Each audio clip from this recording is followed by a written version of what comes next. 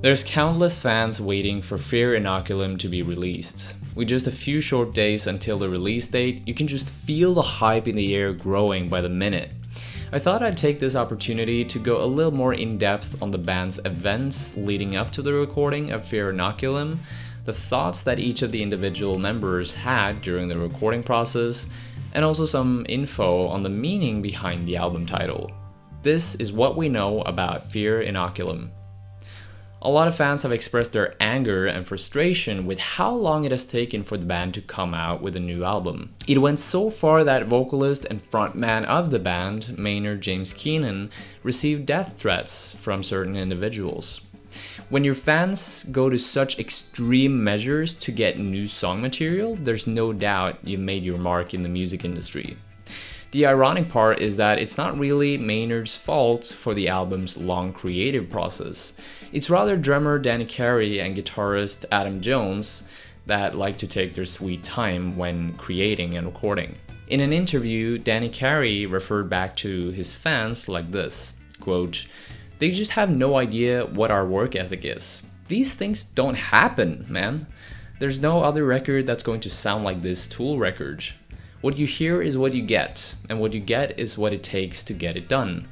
And it's not an easy process. Now, the band's creative process is put together in a very democratic fashion. They all have to be happy with the song in order to move forward. But it's usually Danny Carey that stands out as the band's most meticulous thinker with the highest standards, though. He's a self confessed perfectionist, and together with his fellow band members, he's worked out the mantra it's not good when it's done, it's done when it's good. They managed to come up with a few riffs during their years touring 10,000 Days, their previous album, but never managed to write anything that stuck.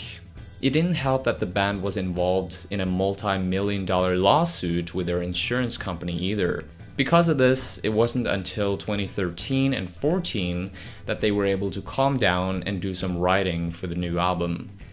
But despite of becoming more focused, they still experienced periods of little motivation and belief in themselves. They would even delete full albums worth of material at times. Quote, sometimes I thought we were nearly there. We had written an album or we had some songs that were cool, and then we'd dump the whole lot and start again. It was devastating.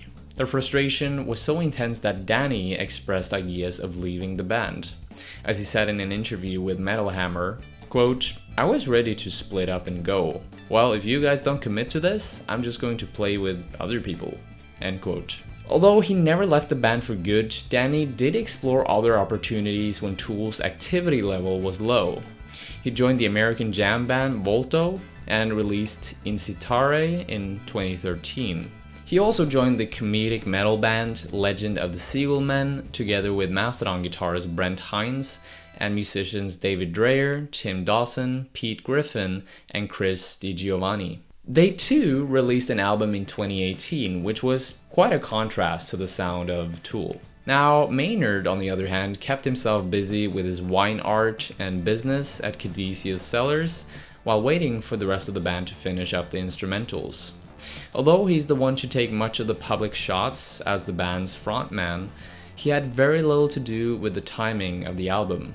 According to his recent appearances on the Joe Rogan podcast back in 2017, and also very recently this month, he explained that he often wrote the lyrics and recorded the vocals in a very stream of consciousness like manner, and that it was probably the fastest part of the whole creative process. In addition to keeping up with his wine business, he also released Money Shot in 2015 with Puscifer and Eat the Elephant in 2018 with A Perfect Circle. Now, guitarist Adam Jones also managed to keep himself busy. He provided keys and guitar work for the ISIS album Wavering Radiant that was released in 2009, probably did some jamming with his friends in the Melvins, and just recently he learned a new guitar warm-up exercise from Kirk Hammett. About this and his development as a guitarist over the past years, Adam Jones commented, quote, I've definitely been practicing more than ever. Since the last record came out, when I meet a guitarist I like, I'll ask them what they do to warm up or what they do to stay good. Most of them show me a technique or a stretch or maybe a practice idea. The last time I saw Kirk Hammett, I asked, and he sent me a video of his forward backwards run going up and down the guitar neck, and it really helped me playing a lot, instead of doing something like just trying to learn the lead of Master of Puppets. End quote. Naturally, bassist Justin Chancellor also found himself doing various other musical projects while the band was trying to get back into the groove.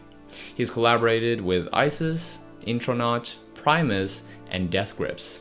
I was actually pretty surprised about that last one, but that's pretty cool, I had to admit. Now, if we fast forward into the past three years, Tool turned their old rehearsal space into a studio, and this is where they spent much of the time working on their new album.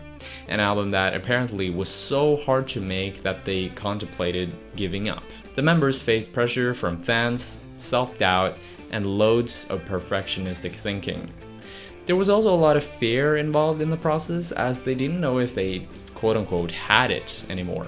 This might be the reason why the album ended up being called Fear Inoculum in the first place.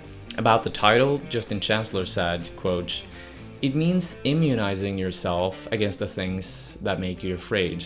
As you grow older, you want to learn, you want to change, you want to evolve, and you don't want to live in fear. The fear of dying, fear of everything. Fear is the mind killer, you know? End quote. When asked about what type of fear that had been present in his life recently, he answered, quote, I can't speak for everybody, but I guess it would be, do you have anything left to give? What's your purpose? When you're getting older, you think about what you have to offer and what's the point of your life. We're all musicians, and we're not really good musicians, but we have this gracious gift that has been bestowed on us, and we don't want to disappoint. So I guess our biggest fear would be just giving up. End quote. Danny Carey gave his perspective on the title too. Quote, we were kind of feeling like we were growing into our next level as a band, making progress in the way we composed, and just not giving a shit anymore about what anybody thinks. Kind of conquering our fears about critics and whatnot. The fear inoculum thing was get rid of the fear and don't worry about it especially after we'd taken so long because we knew we were going to take heat.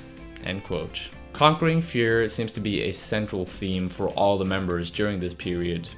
Adam Jones admits that he was nervous when they performed material from the new album for the first time in Jacksonville's Welcome to Rockville festival. In an interview with Metal Hammer, he said, quote, It was literally like standing in front of thousands of people without any clothes on and playing a new song that no one's ever heard before and trying to pull it off and seeing if it fits with all the tried and trusted greats. That was a leap of faith, you know what I mean? And it's not that amazing. I will be self deprecating again. But you know what is amazing? Is that there were tons of people having a great time and enjoying it. End quote. It's incredible to think that Tool finally are going to release an album. It's quite surreal actually when I think about it. But I'm so happy that these guys managed to pull through all the pressure from their fans and all the fear in general, like we talked about. Let me know down in the comments how excited you are for the new album. And uh, yeah, that's about it for today. Thank you so much for watching, and I'll see you later. Thank you so much for watching. I just wanted to let you know at the end here that if you need help with guitar practice, but you're struggling with procrastination, then this free ebook will automatically help you fix that and turn you into the disciplined guitarist you've always wanted to be. It's called the Guitar Masters Secrets. Make sure you download it. It's completely free, and I'll see you on the other side.